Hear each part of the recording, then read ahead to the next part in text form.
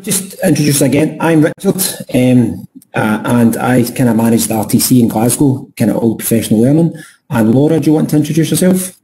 Yep. Hi everyone. Uh, my name is I am a leader of Glasgow's Improvement Challenge and Apple Professional Learning. Fantastic. So yeah, we, we want to tell you about Glasgow's digital journey and how that journey itself is having an impact on uh, everyone within our, in our local authority, from pupils uh, to practitioners to families. Um, and really it starts with our vision. Our vision was very clear from the, the outset where we wanted to provide uh, digital equity for all our learners. We're trying to um, get 50,000 plus uh, iPads into Glasgow to help everybody. Um, and we needed the strategy for that. And the strategy was and always is in schools in Glasgow about raising attainment and achievement for all our learners, regardless of where they come from and what their backgrounds are. Um, it's about enhancing leadership for our staff. We understand that by building leadership within staff, we will build leadership within our learners and we will also improve attainment and achievement.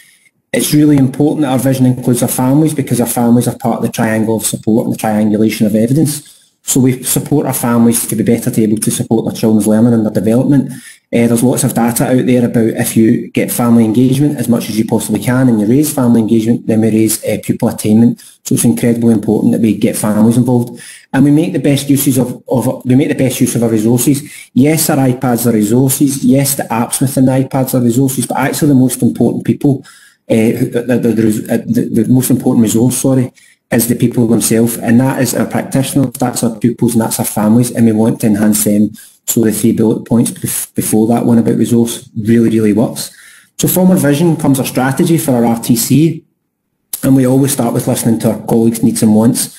And we, we listen to their needs and wants, we can begin to make a greater impact on their professional learning, which will have a greater impact on our pupils' learning, which will have a greater impact on our family engagement and support our families better.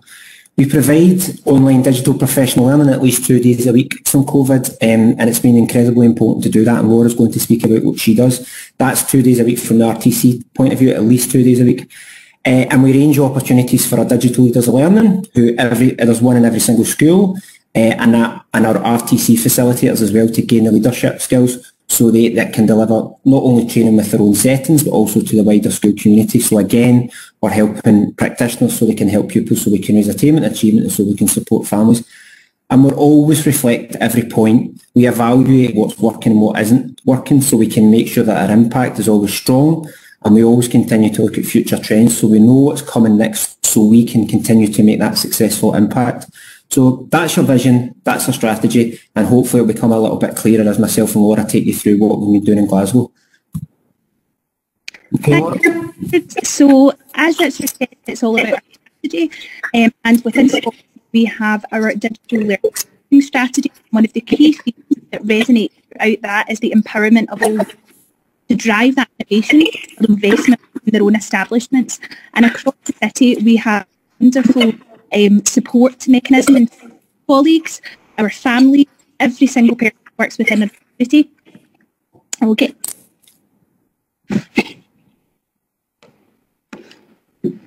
So within what we have Glasgow's Improvement Challenge, which is funded by the Scottish Attainment Challenge, where we're striving to close that related attainment gap. And this infographic from our most recent where it was highlighted poverty is accepted as a barrier of excellence. And we were recognised for the professional learning that we were undertaking and uh, colleagues in our establishments, but also for that of data to evidence and impact.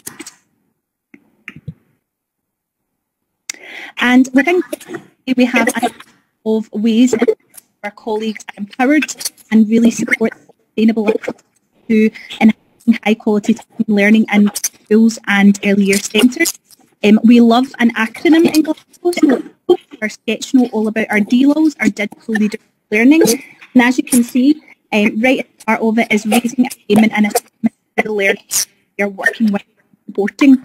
And the hope is that in not to the distant future, that every teacher, every single support for learning, every one of our families are also DLOs, digital learning as well. Um, so as we said, we do love an acronym in Glasgow and the colleagues that I work primarily with are our Challenge Leaders of Learning, our CLOLs. Um, they come to our pedagogy team, our LOLs, our Leaders of Learning, and we in turn support them with um, promoting and um, sustaining high quality learning and teaching within their establishments. We support them also with that leadership of learning and being able to triangulate that evidence. Um, and within the last few years, because of the fantastic digital transformation that's happening within the city, we were keen to get as involved as possible to create that holistic vision and approach that all together. So as we said already, it's about enhancing that learning and teaching and also um, ensuring that our, our, our, workers and colleagues are equipped with those digital skills to help improve those educational outcomes. And that's at the forefront of everything we do. It always comes back down to those learner outcomes and the families and young people and children that we work with. So as we know, um, in February, March time of this year, our lives changed um, quite dramatically. And as an authority, we thought about how we could continue that strive for excellence um, and support our colleagues, learners and families in as much way as possible. So as an authority, we came together to think about what professional learning we could offer to support our colleagues. Um, and we thought of the idea of running daily coffee break learning webinars, which were hosted um, for all of our colleagues to be involved in and engage in. And even though we had a few technical issues at the very beginning, and I know Richard will, will support me with that, we got through it and we ran a fantastic amount of sessions. So as you can see, we had 1,364 members in the City Council webinar team, which the number today is ever growing. Um, we hosted seven Apple Teacher Mondays as well as 25 Coffee Break Learning webinars. We obviously collated and collected the data in terms of feedback and looking at what our colleagues wanted. And these sessions couldn't have been possible without the amazing work and support of our DLOs and CLOs across the city. The sessions were very kind of short to the point, 30 minute sessions, but again, such high quality opportunities and experiences for everyone to get engaged in. And with that communication that we had with our colleagues, we were able to think about the journey that we would then go on. Okay, thanks, Richard. Um, so we also thought about in terms of sustainability, we were, we were well aware of our colleagues who were working within the hubs and were not possibly able to access some of um, the, the webinars as they took place live. So we were very grateful to host our own YouTube channel, which had all of the, the content recorded and equitable, equitably um, accessible for our colleagues.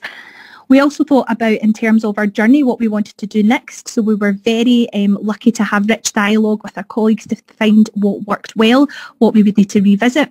And again, the, the high quality experiences that happened were something that came back very positively um, and that's what we thought about in terms of planning our journey for the future, which Richard will talk to you about in the next few slides. Okay. So as a work stream um, within Glasgow's Improvement Challenge, our key focus is on literacy and maths and numeracy, and we have two work streams, Literacy for All and Glasgow Counts.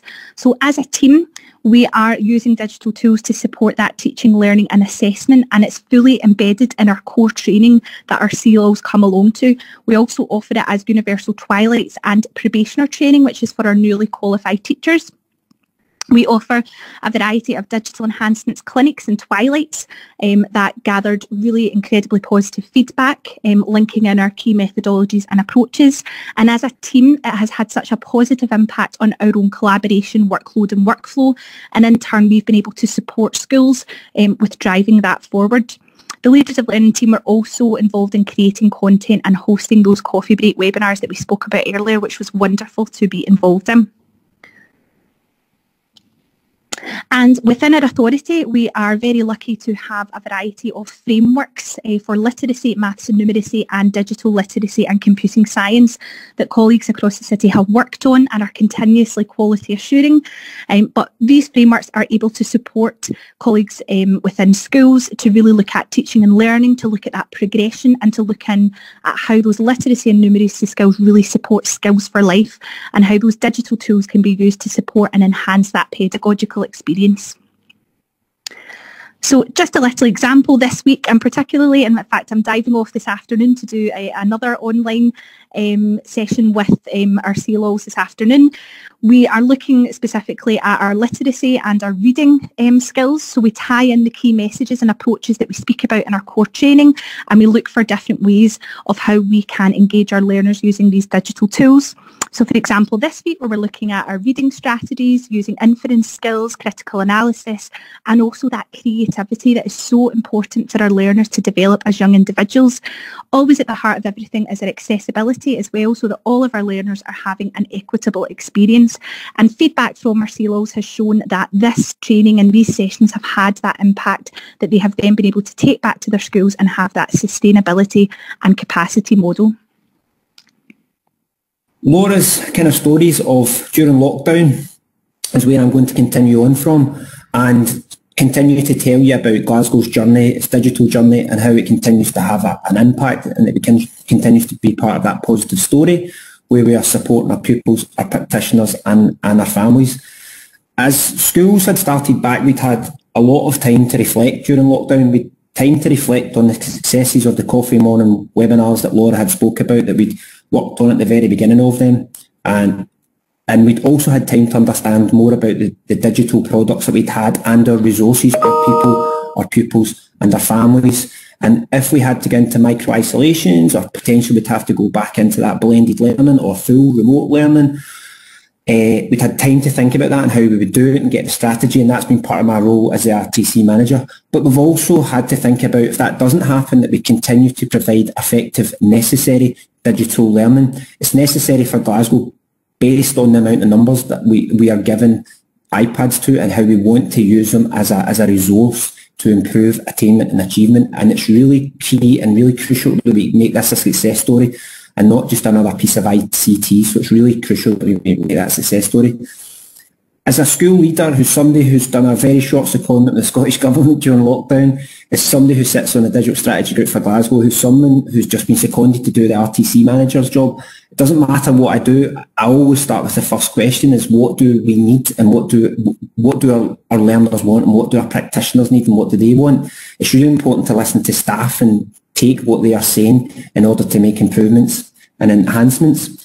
So to making the impact, we, we, we listened to teachers and what it was they wanted because they need a reason to come to professional learning opportunities. They really do. They, we call them sit-ins sometimes, which is a negative way, but that kind of kept in feeling, what's in this for me? Why am I here for this? Our teacher time is incredibly important, crucial. So we need to make it effective. There has to be something in it for them. So we, we created a poll using Microsoft Forms and we asked them what they wanted. And the, the highest one that came back was the Apple Teacher Monday because of the experience parts of it during lockdown, so we continued with it. It was a very successful format, as Laura has uh, given the example from there, but we'd also had 100% deployment of every staff member in Glasgow having their iPad. This was accelerated during lockdown and over summer holidays, so we wanted to get it right. So all we did was we kind of kept the original Apple Teacher Monday format, just tweaking it ever so simply, uh, slightly. It's very simple, it's very informal, it's very relaxed. You come, you join the Teams meeting, you come with your iPad, you try certain things. We look at some of the skills development. You ask questions. You work with the, the, the presenter, uh, whether that's a DLO member or a, a, an RTC facilitator, and you ask them for little bits of help and little tips. We changed ever so slightly. We didn't just go through the skills. We, we showed them the kind of enhancements that's been made to the kind of Apple Teacher website. So uh, Apple Teachers and Actions, the 30 time saving tips. So we spend the vast majority going through the little different badges, um, but also showing them other little things. So there's an introductory session, and then we go through the badges, pages, keynotes, numbers, uh, iMovie, GarageBand, and we finish on Swift. That's for a six-week period, uh, approximately seven if we include the introductory one and Swift at the end. Uh, we had 275 practitioners at them. That's approximately 40 each session. Uh, we had six different webinar leads. So the impact is we're building uh, um, practitioner knowledge and we're also building leaders through allowing different members of our ELOL team or our RTC team to make uh, to be the leads on that. And again, as Laura was speaking about getting that feedback, that came to us again because that allows us to then uh, hear what people like, hear what people don't like, and then set the next amount of training, which is coming up now. So really, really successful. The impact has been with the 275 practitioners that are better skilled, they are better prepared, and they have better knowledge of how to deliver effective uh, digital lessons. So to build on um, the Coffee Morning webinars, which went to Apple Teacher Mondays, um, and listening to that feedback from staff, yes, people wanted the new teachers who'd come into the deployment who'd received their iPads, they wanted Apple Teacher. They felt as if that was a natural place to start. But other teachers who'd already done Apple Teacher training and wanted the next thing, we looked at what we could do with that. They wanted the next level. They wanted to raise attainment. They wanted to enhance leadership within their school. So individuals within their school settings would take forward leadership within their own class, within their own departments. And they wanted to make the best use of their resources, whether that be the iPad or the people within their schools or their families. And again, that goes back to our vision paper. So again, our staff and our families and our pupils are our best resource. So we created Creative Classrooms. Creative Classrooms is a very similar format to Apple Teacher Mondays. It's half an hour sessions. It's come and try. It's try these apps that are additional apps within the iPad within our self-service, a bit like our own Glasgow uh, self uh, app store. Yeah, we took them through green screen. We took them through Teams. We took them through uh, Showbie, we took them through um, Seesaw, and there was a big demand for these learning management systems to begin with because of the fear of a potential another lockdown or micro-isolations or a kind of blended learning or remote learning. We also brought teachers to training for settings and clips and clocks and classrooms and books and maps and all these kind of introductory half an hour sessions. They're not hands-on, they're not, I'm going to show you what happens when we press this button. It is really here as an introductory session. It's now your responsibility to go work with your dealer, work with your RTC facilitator, try your own training. We point them, we signpost them to all the right places to go to. And again, this the staff survey that we, we presented to staff, similar to the Apple teacher feedback, was the same as this. They wanted this type of training. It was also to do with the 100% need for deployment, but also to move away from the skills base. We wanted teachers to become more innovative with the apps to maybe app smash, to maybe use two and three at a time, to collaborate, to share, to save them in OneDrive, to use them for assessment, to give feedback to families. So that was the reason for doing the creative classrooms and using that kind of format. Um, so in total, for the creative classrooms, very, very similar to Apple Teacher Monday, we had uh, eight weeks of the creative classroom um, webinars. We had 14 different webinar leads this time, and that's about building capacity for leadership. With 323 attendees, on average was 30 a night, and with 210 evaluations, which again was giving us that really, really uh, valuable feedback that would tell us how we would shape and build our next professional learning offer so the impact can be even greater, so the impact can be even better.